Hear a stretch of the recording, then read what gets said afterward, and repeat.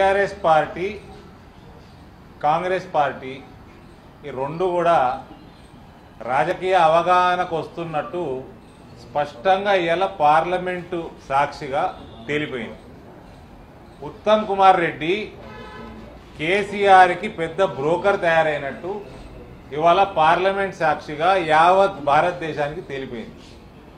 నిన్న TRS MP Suresh Reddy గారు రాజ్యసభలో అడిగిన ప్రశ్నకి జవాబు రావడం జరిగింది. ఆ జవాబులో స్పష్టంగా పసుపు బోర్డుకి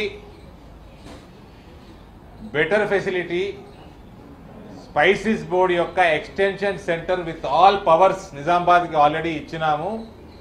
దానికి అక్కడ ఆల్రెడీ రైతులు బెనిఫిట్ కూడా పొందుతున్నారు అన్న జవాబు కూడా ఆయనకు రావడం జరిగింది.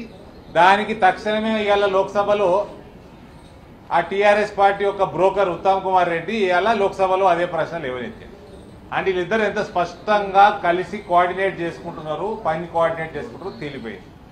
ఇవాళ పురుషోత్తం రూపాల గారు సంబంధిత మంత్రి గారు స్పష్టమైన జవాబు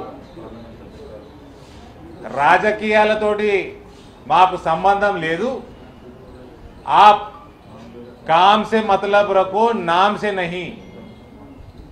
ఇవాళ స్పైసీస్ బోర్డు యొక్క regional office cum extension centre పెట్టినవాడా వివిధ యూనివర్సిటీలతో టైఅప్లు చేసి దిగుమతి పెరిగేటట్టు నూతన వెరైటీ ఆఫ్ టర్మరిక్ పసుపును కూడా తీసుకొస్తాము అక్కడ. అక్కడ ఈనాం కొత్త మండీలు కూడా ఏర్పాటు చేసినాము. ఆల్రెడీ వేల సంఖ్యలో రైతులు దానికి అసోసియేట్ అయిపోతున్నారు. ఇవన్నిటికీ అదనంగా మార్కెట్లో రేటు తగ్గినట్టయితే మీ ప్రభుత్వం అక్కడ నుంచి మాకు లేఖ రాస్తే దాని మీద కూడా మేము రైతులకి బెనిఫిట్ చేకూరేటట్టు చేస్తాము భారత ప్రభుత్వం కూడా అని అన్ని రకాలుగా స్పష్టమైన జవాబు ఇవ్వడం జరిగింది. కానీ ఇక్కడ కన్ను దోల్చుకోవాల్సిన విషయం ఏంటంటే ఉత్తమ్ కుమార్ రెడ్డి గారికి నేను శుభాకాంక్షలు తెలియజేస్తున్నా. మీ నాయకత్వంలో కాంగ్రెస్ పార్టీని పూర్తిగా ఖాళీ చేసేసి టీఆర్ఎస్కి మొత్తం అమ్మేసి సక్సెస్ఫుల్ తోటి స్పైసెస్ తోటి సంబంధం లేని రాష్ట్రం. ఆ రాష్ట్రంలో పోయి స్పైస్ బోర్డు పెట్టినావు. మా తెలంగాణకి ఇస్తే బాగుంటుంది కదా. ఇప్పటికన్నా ఆ ప్రపోజల్ కాంగ్రెస్ పార్టీ మూవ్ చేద్దాము. అని మాట్లాడినావా? లేదు. ఎందుకమ్మా? ట్రేడర్ల దగ్గర పైసలు మింగి నువ్వు నీ కొడుకు. పప్పు గాంధీ. ఇద్దరు ట్రేడర్ల దగ్గర పైసలు మింగి వేల టన్నులు ఇన్ని సంవత్సరాల నుంచి దిగుమతి చేసుకున్నాము. కాంగ్రెస్ పార్టీ పసుపు రైతుల్ని నాశనం చేసింది. దశాబ్దాల చరిత్ర నాశనం చేసిన చరిత్ర కాంగ్రెస్ పార్టీకి మిగిలిపోయింది.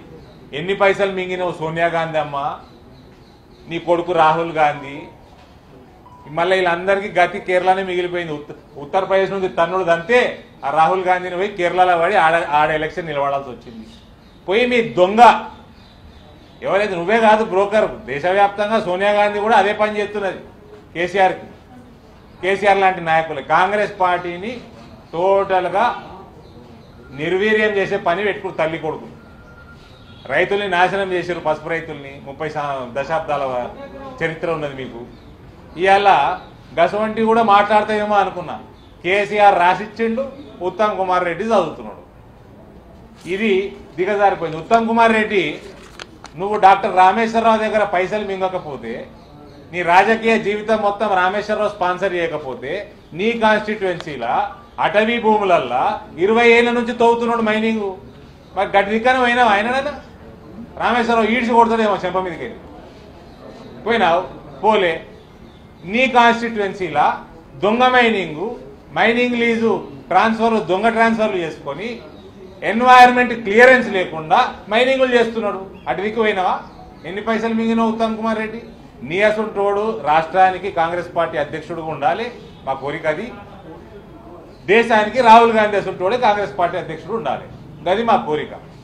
ఇవాళ పసుపు రైతుల యొక్క ప్రతి సమస్య ఇంత వేగంగా తీరుతున్నదంటే అది నరేంద్ర మోదీ గారి ప్రభుత్వం ఒక ఆలోచనతోటి ఏ రకంగా రేట్లు వస్తాయి?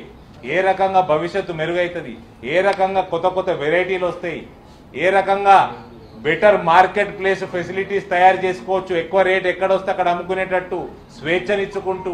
ఆయన స్పష్టంగా చెప్పడం జరిగింది ఇరవై ఇరవై రెండు. కొత్త ఈనా మండీలు. ఇది పసుపుకే కాదు తెలంగాణ వ్యాప్తంగా ఈ సంస్థ వల్ల మిర్చి రైతులకు కూడా బెనిఫిట్ వస్తుంది. కొద్ది గొప్ప అల్లం రైతులకు కూడా బెనిఫిట్ వస్తుంది.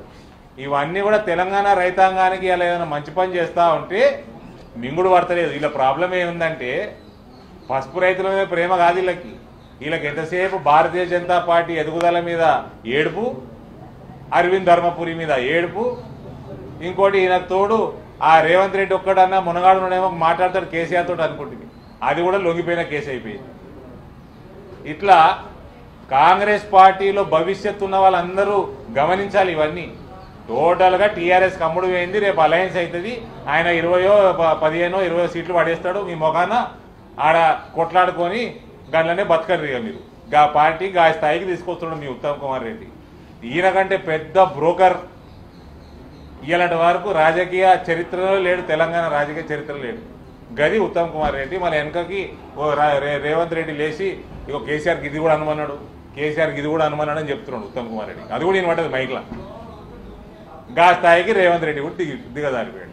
ఇక గీల నాయకత్వంలో పనిచేసిన వాళ్ళు ఇక ముందుకు పడ్డట్టే ఉంటుంది. Thank you